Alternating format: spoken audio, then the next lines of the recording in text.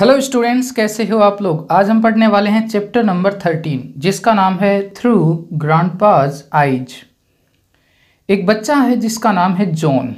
John के दादाजी grand पा देख नहीं सकते। मतलब वो ब्लाइंड है। इस चैप्टर में जॉन के द्वारा बिताया गया पूरा एक दिन दिया हुआ है। सुबह उठने से लेकर रात सोने तक। ये दिन जॉन अपने दादा दादी के घर में बिताता है और समझने की कोशिश करता है कि उसके दादाजी उस घर को और दूसरी चीज़ों को कैसे देखते हैं मतलब कैसे समझते हैं। और अपने दादाजी के नज़रिए से जॉन भी चीज़ों को समझने की कोशिश करता है, चीज़ों को देखने की कोशिश करता है।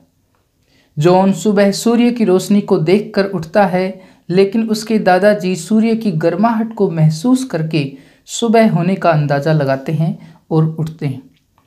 सुबह उठकर जॉन अपने दादाजी के कमरे में जाता है। जॉन के दादाजी पहले से ही जगे हुए थे और बेड के बगल में सुबह की एक्सरसाइज कर रहे थे। उनको देखकर जॉन भी आँखें बंद करके एक्सरसाइज करने की कोशिश करता है, लेकिन वह एक तरफ़ गिर जाता है। जॉन पूछता है कि दादाजी, दादी कहाँ है?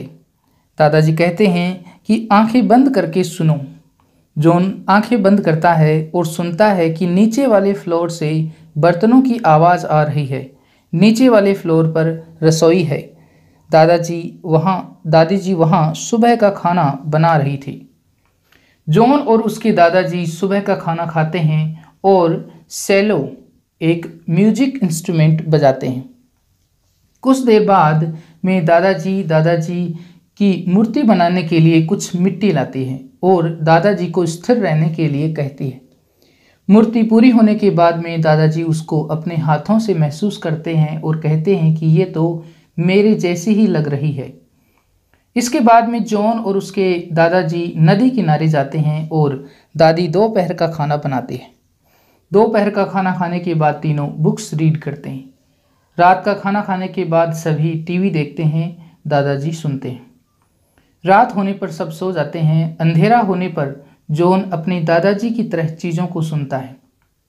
घर के चरमराने की आवाज़, पेड़ के पत्तियों के सरसराने की आवाज़, हंसों की आवाज़, सब सुनता है। और दादाजी किस तरीके से चीज़ों को सुनते हैं, महसूस करते हैं, देखते हैं, उस चीज़ को समझने की कोशिश जॉन करता है। यह है इस चैप्टर की समरी अब हम इस चैप्टर को लाइन बाय लाइन रीड करेंगे। Of all the houses that I know जितने भी घर मैं जानता हूँ I like my grandpa's house the most the best उनमें से मैं सबसे ज़्यादा अपने दादाजी का घर है, उसको पसंद करता हूँ। My friend Peter has a new glass house मेरा दोस्त है पीटर उनका घर है जो कि ग्लास हाउस है, शीशे का बना हुआ घर है। विद पेबल पाथ गार्डन्स, और उस घर में पेबल पाथ वाले गार्डन्स हैं। Maggie lives next door. अगले ही घर में मैगी रहती है in an old wooden house, और उनका घर है, वो एक वुडन हाउस है, विद कार्ड डोर्स, और उसके जो डोर्स हैं, वो नक्काशीदार हैं, नक्काशी उनके ऊपर की हुई है, एंड ब्रास डोर नॉब्स। और उसके जो डोर नोब्स हैं गेट को खोलने के लिए जो नोब्स हैं, वो पीतल की बनी हुई हैं। दे आर फाइन हाउसेज ये जो घर हैं पीटर का और मैगी का, ये जो घर हैं, वो बहुत ही अच्छे हैं फाइन हैं। But grandpa's house is my favourite लेकिन दादाजी का घर मेरा फेवरेट है।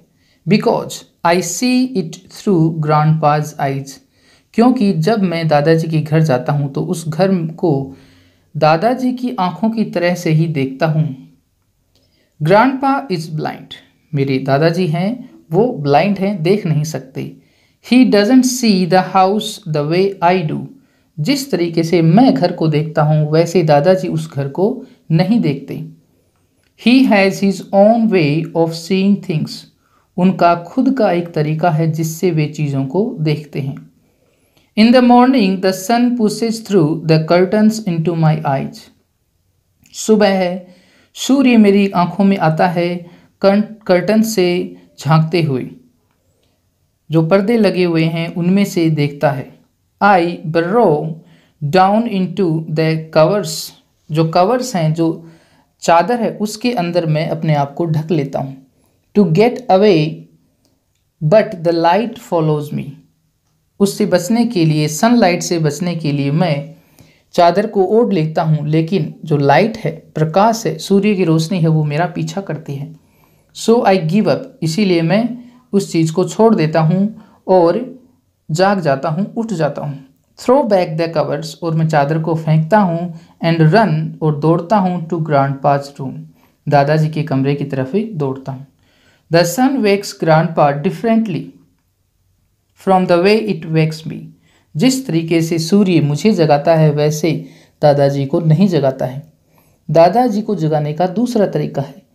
He says it touches him दादाजी कहते हैं कि सूर्य की रोशनी मुझे टच करती है वार्मिंग हिम अवेक और उसकी गर्माहट से मैं जाग जाता हूँ।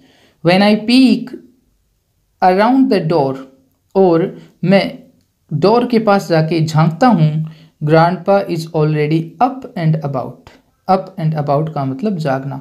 तो दादाजी पहले से ही जागे हुए होते हैं। He is doing his morning exercises वो अपनी मॉर्निंग एक्सरसाइज करते हैं।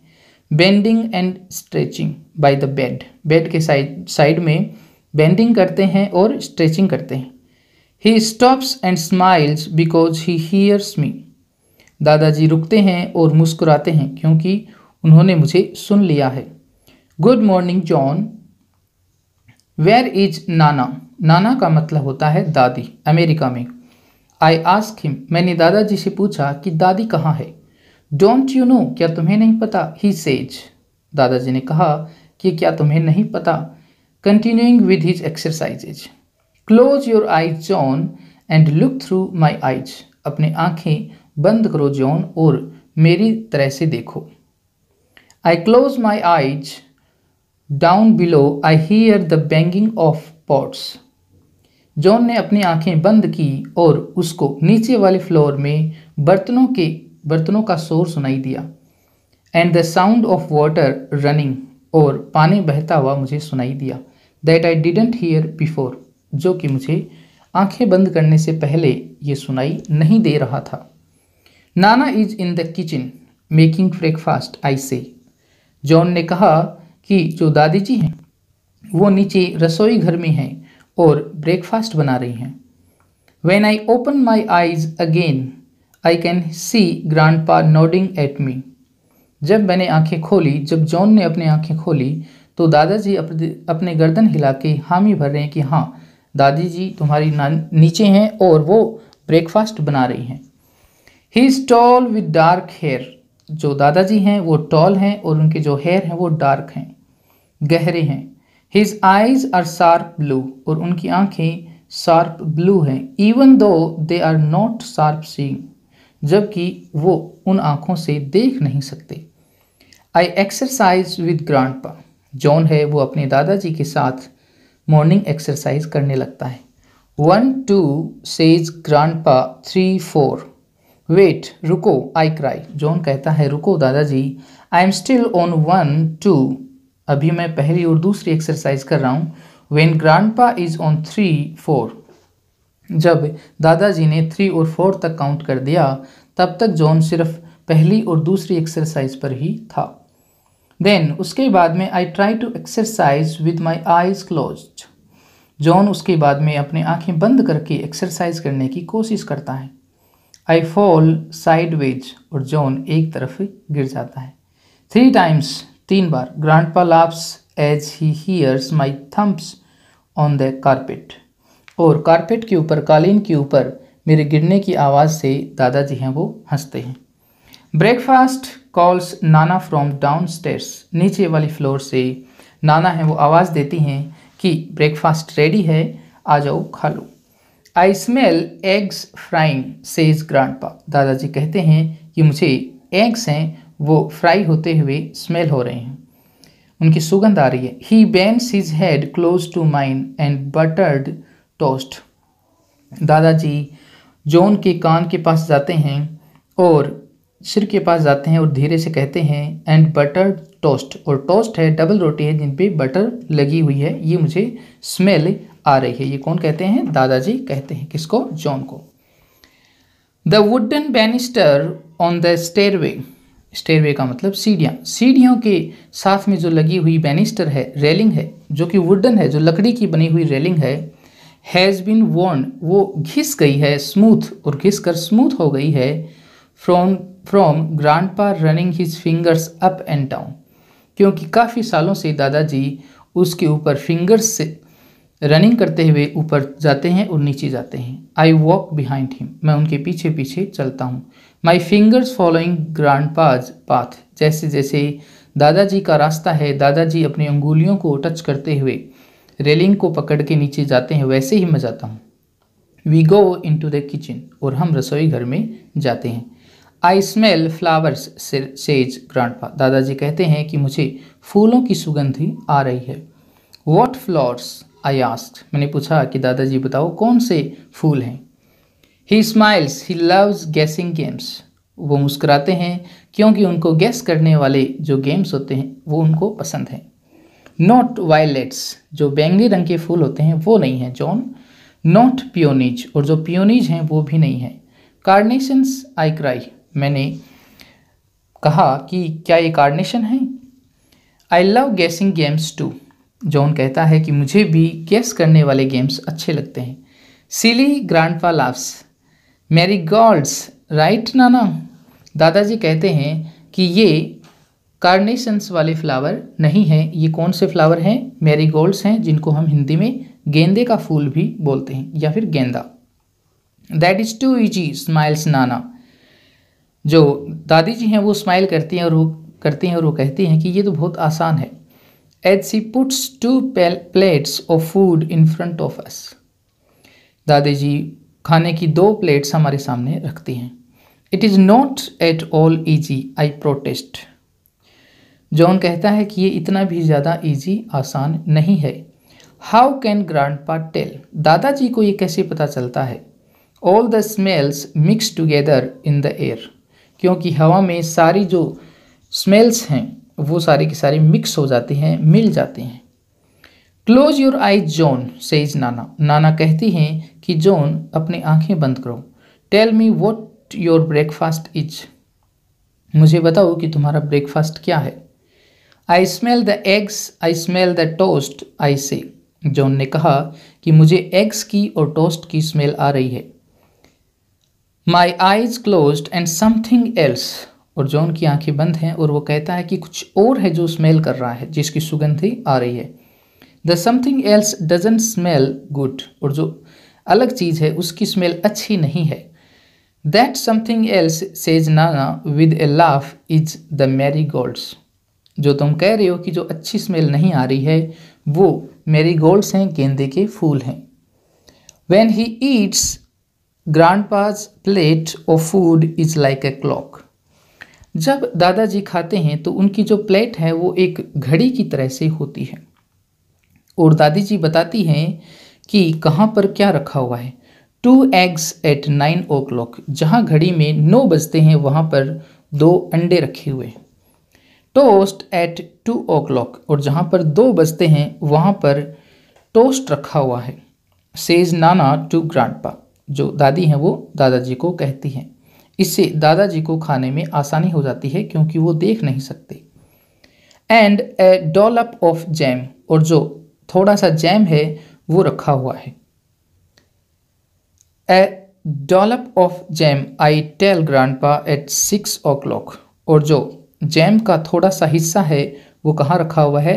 जहाँ पर छः बजते हैं, वहाँ पर रखा हुआ है। I make my plate of food a clock to John है, वो भी अपनी प्लेट को एक क्लॉक की तरह से बना लेता है, जैसे कि दादाजी की प्लेट है।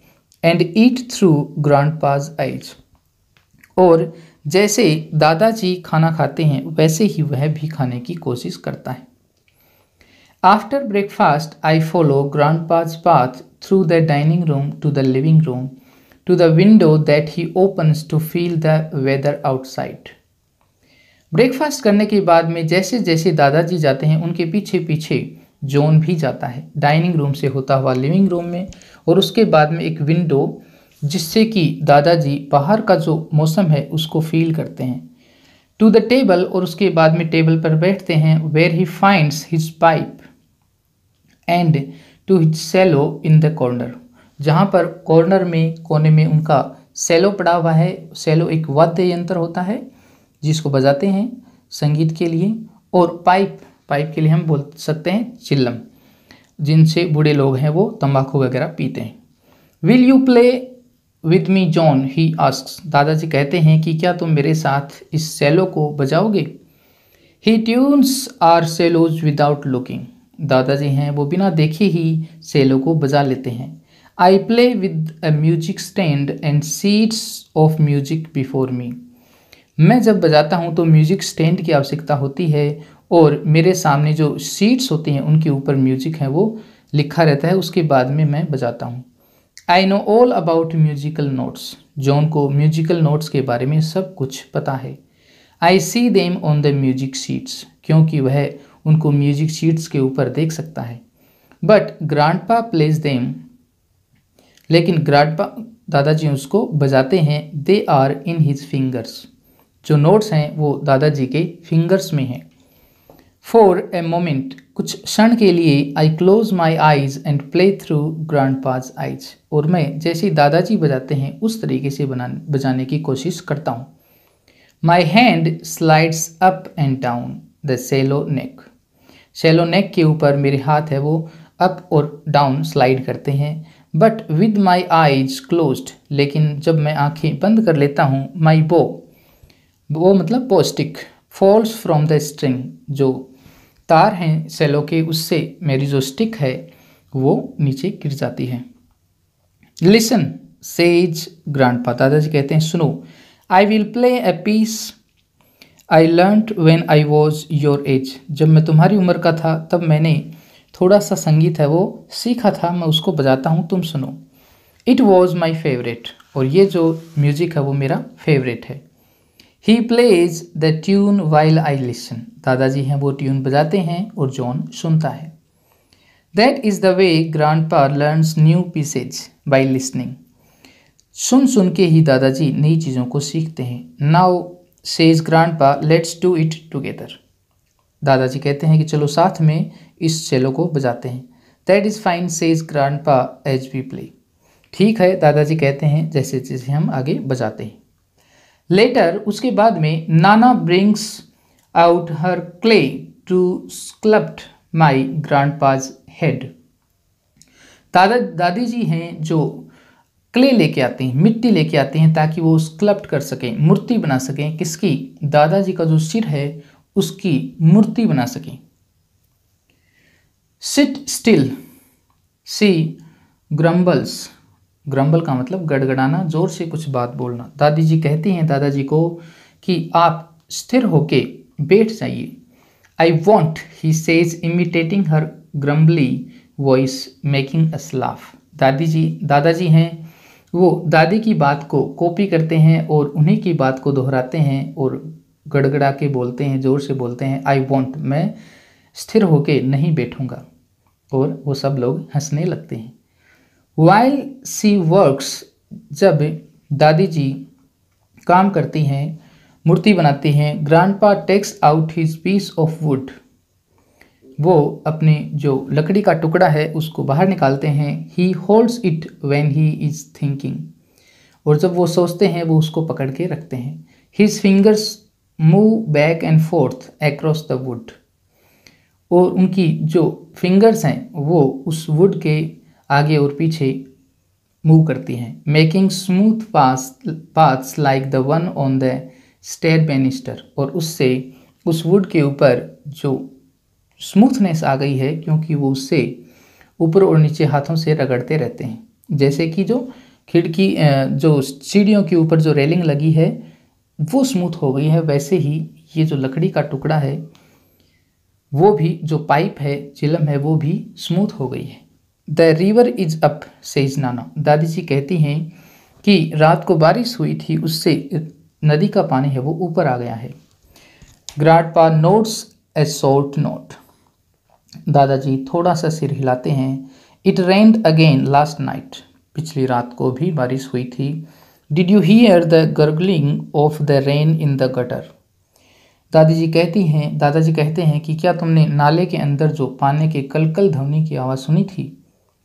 When Nana has finished working, Grandpa runs his head hand over the sculpture.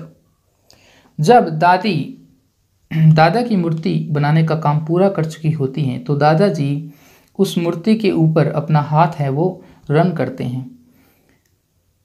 His fingers are soft and quick like butterflies दादाजी की जो फिंगर्स हैं वो सॉफ्ट हैं और बटरफ्लाई की तरह से क्विक हैं।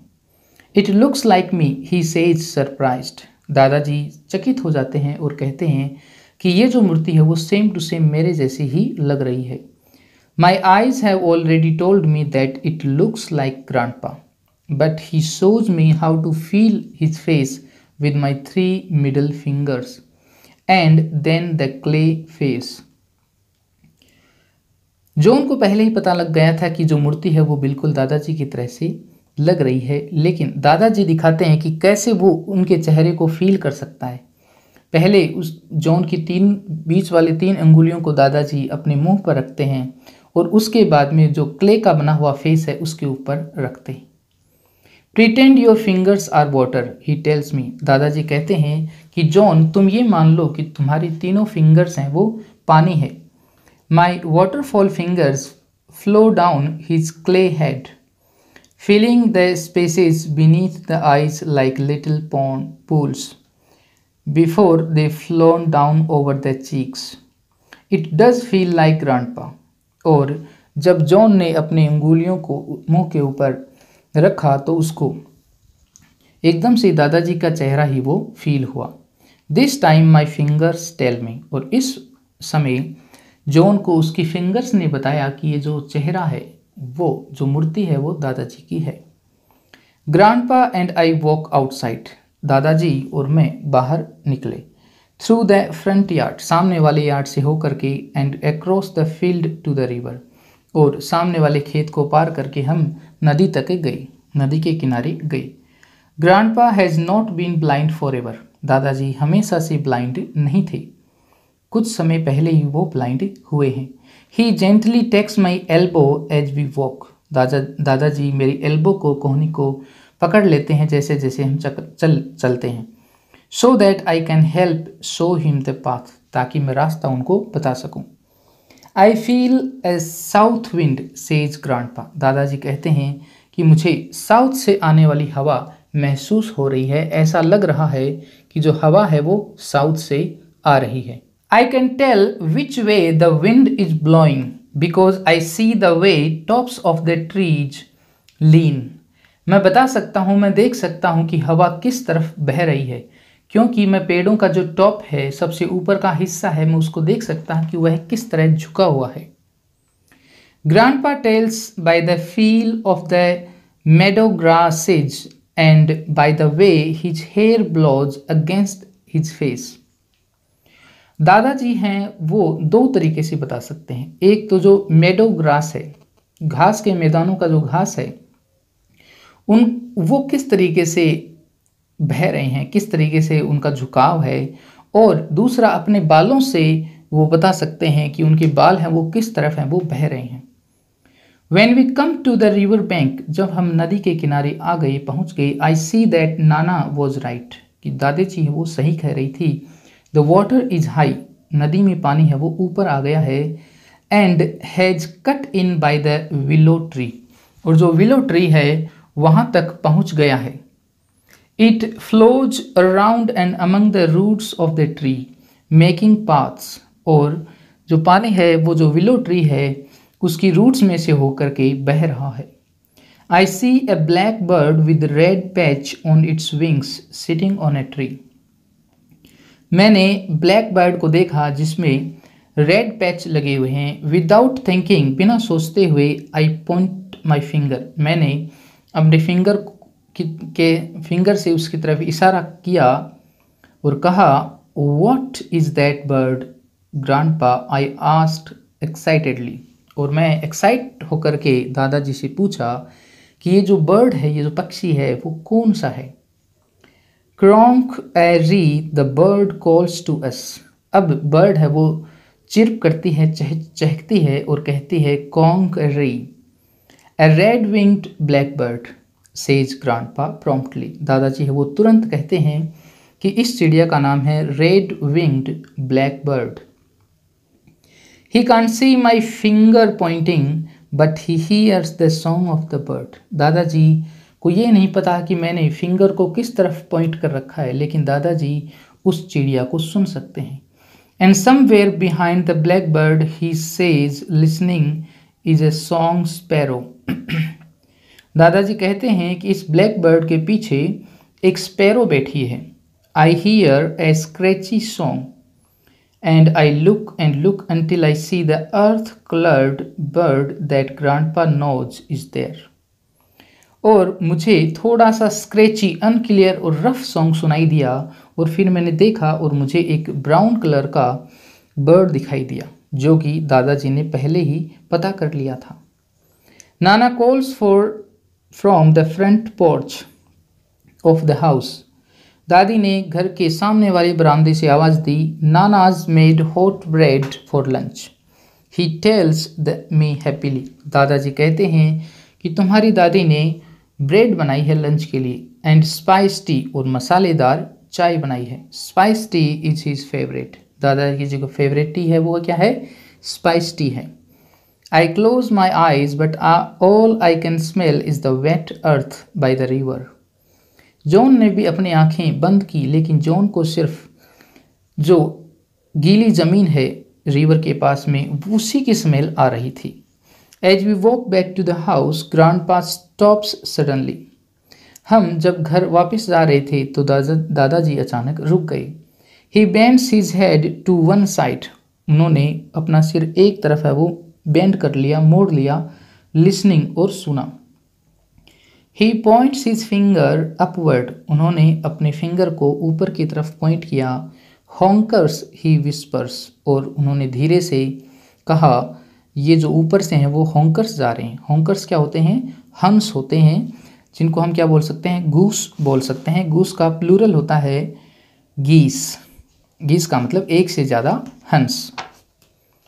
I look up and see a flock of geese geese geese का मतलब हंस, और फ्लोक का मतलब समूह। मैंने हंसों का समूह ऊपर देखा। High in the clouds flying in V और वो वी शेप में ऊपर उड़ रही थी। We walk up the path again and to the yard where Nana is painting the porch chairs grandpa smells the paint हम वापस घर गए जहाँ पर बरामदे में दादी जी हैं वो। बरामदे की जो चेयर्स हैं, उनको पेंट कर रही हैं। दादाजी हैं, वो उस पेंट को सूंघते हैं। What colour Nana he asks I can not smell the colour दादाजी कहते हैं कि, नाना कौन सा कलर तुम कर रही हो? क्योंकि मैं कलर को स्मेल नहीं कर सकता। Blue I tell him smiling John ने कहा, दादाजी, ये ब्लू कलर है। ब्लू लाइक द स्काई जैसे आसमान ब्लू होता है, वैसा ही. Blue like the colour of grandpa's eyes Nana says और दादी ने कहा कि तुम्हारे दादाजी की जो आँखें हैं, उन्हीं की तरह से blue the afternoon grandpa Nana and I take our books outside to read under the apple tree afternoon में दादाजी और दादी जी और मैं अपने अपने बुक्स ले लेते हैं और एप्पल ट्री के नीचे बैठकर उनको रीड करते हैं, पढ़ते हैं। Grandpa reads his book with his fingers दादाजी अपने बुक्स को फिंगर्स से पढ़ते हैं। Feeling the raised Braille dots that tell him the words उनकी जो किताब है, उनमें अक्सर ब्रेल हैं, उभरे हुए हैं, उन्हीं को फील करके दादाजी पढ़ते हैं। As he reads grandpa laughs out loud जैसे जैसे दादाजी पढ़ते हैं और वो ज़ोर से हँसते हैं। Tell us what is funny says Nana. नाना कहते हैं कि क्या बात है, क्यों हंसे, हमें बताओ। Read to us Papa and he touch और जॉन कहता है कि, पापा, मीन्स यहाँ पर मतलब है, दादाजी, हमें बताइए, हमारे लिए पढ़िए आप इसको। Nana and I put down our books to listen. दादी जी ने और मैंने अपनी बुक्स को नीचे रख दिया ताकि हम दादाजी की बात को सुन सकें। आफ्टर सपर सपर का मतलब रात का आखिरी खाना। After supper grandpa turns on the TV दादाजी हैं, वो टीवी को ऑन करते हैं। I watch but grandpa listens मैं देखता हूँ और दादाजी सुनते हैं। And the music and the words tell him when something is dangerous और फनी हैप्पी और सैड और शब्दों से ही पता चलता है कि जो टीवी में क्या चीज़ चल रही है। कोई ख़तरनाक चीज़ है फ़नी चीज़ है हैप्पी चीज़ है या फिर सैड है। Somehow grandpa knows when it is dark और जैसे तैसे करके दादाजी को पता चल जाता है कि अंधेरा हो गया है रात हो गई है। He takes me upstairs and tucks me into bed दादाजी मुझे ऊपर मेरे बेडरूम में ले जाते हैं और मुझे मुझे बेड पे सुला देते हैं। ही bends down to kiss me his hands feeling my head वो मुझे किस करते हैं और मेरे सिर के ऊपर हाथ रखते हैं। You need a haircut John he says वो कहते हैं कि जॉन तुम्हारे बाल हैं, वो बड़े बड़े हो गए हैं, तुम्हारे बालों तुम्हें बालों को कटाने की ज़रूरत है। Before grandpa leaves he pulls the light chain above my bed to turn out the light grandpa मेरे रूम से जाने से पहले लाइट्स को पुल करते हैं चेन को पुल करते हैं, खींचते हैं ताकि लाइट है वो बंद हो जाए। But he by mistake he turns it on instead लेकिन लाइट है वो पहले से ही बंद थी और उनके पुल करने से लाइट ऑन हो गई, चालू हो गई।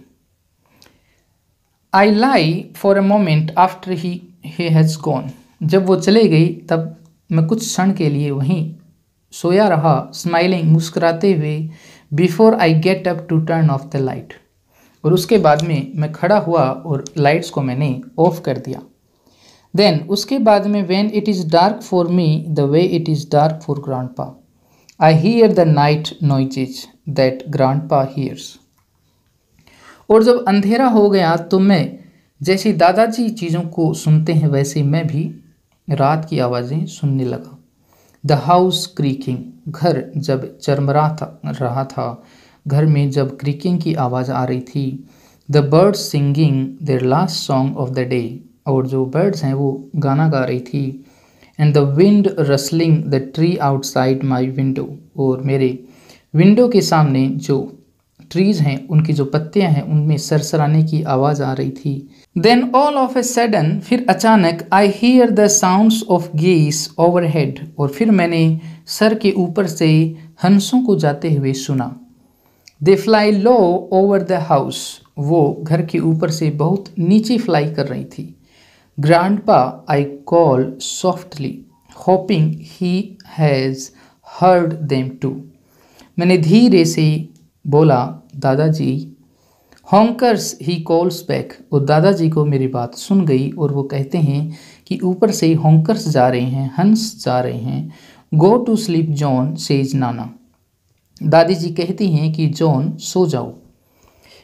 Grandpa says her voice smiles to him दादाजी ने कहा कि तुम्हारी दादी हैं, वो स्माइल कर रही हैं। आई टेस्ट इट मैंने इस चीज़ की जाँच की। What I call to her मैंने उसको कहा दादी जी को कहा कि दादी जी आप क्या कह रहे हो? I said go to sleep she answers और दादी जी जवाब देती हैं कि, अब सो जाओ। सी सेज इट स्टर्नली दादी जी ने ये बात सख्ती से कही, कठोर, कठोरता से कही। But grandpa is right लेकिन दादाजी हैं, वो सही हैं। Her voice smiles to me I know क्यों? मैं जानता हूँ कि दादी जी हैं, वो स्माइल कर रही हैं।